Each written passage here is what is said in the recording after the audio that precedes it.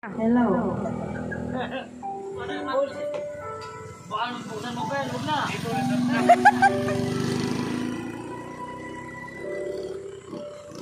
Lalagay ng korenet Ay! sa aking mukha Walang makakarinig, Ma- Mare.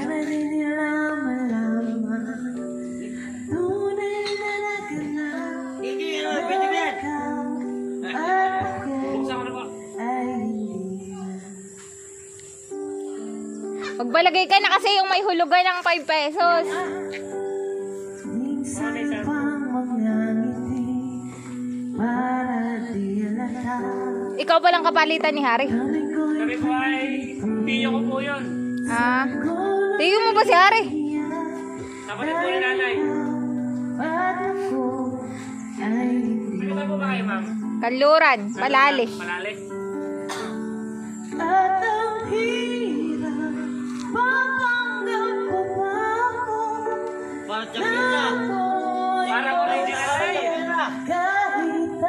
Ang totoo Talagang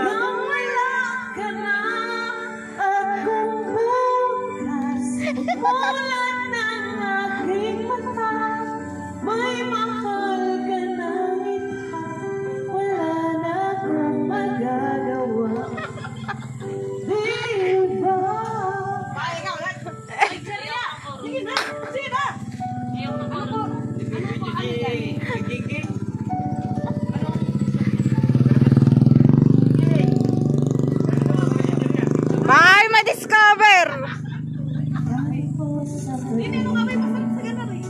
Hindi ako, hindi ako nainom ng Red Doors.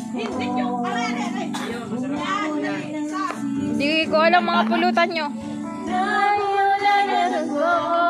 Na ikaw ay wala. I-promote natin ang ano, katigan. ang itim mo kasi.